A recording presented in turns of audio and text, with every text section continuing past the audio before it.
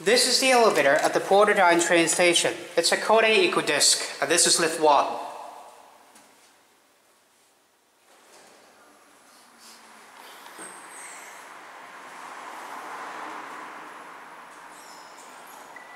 Here it is, zero.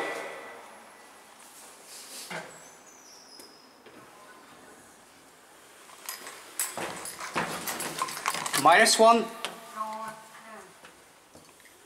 Look at how you see hey now, it's got the light fixtures up the ceiling there, are LEDs. Stop looking at the camera please. Stop pointing the camera, yeah. Sorry. Here we are at minus one.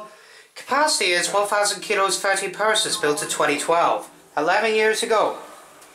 Back up to zero.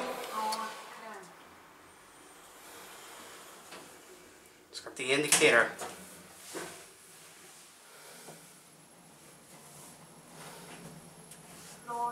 Here we are back up at zero.